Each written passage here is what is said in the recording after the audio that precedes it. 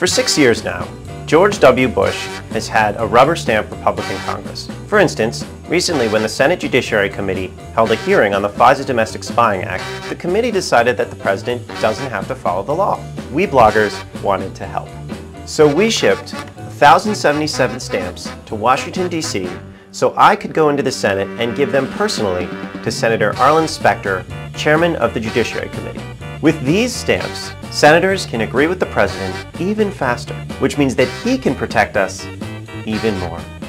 It's really a win-win. So we're going to go into the Senate, take a look around, and give these stamps personally to Arlen Specter. I already feel safer.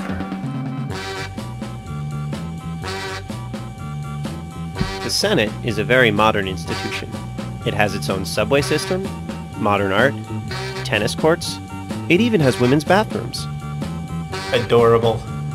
The Senate actually has an elevator for senators only. Now, we have to take the elevator reserved for the little people. I'm heading to Specter's office now. Just passing by. Hi, I have a question All right, we can't for have live Senator. cameras in here. Can you turn that off? Okay, it's not rolling.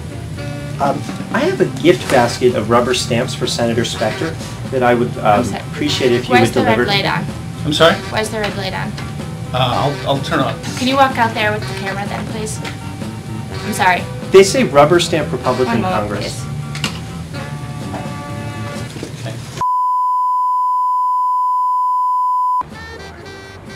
As I walked away from the halls of justice, I realized that all of us can relax, knowing that Arlen Specter finally has the rubber stamps he needs to do his job.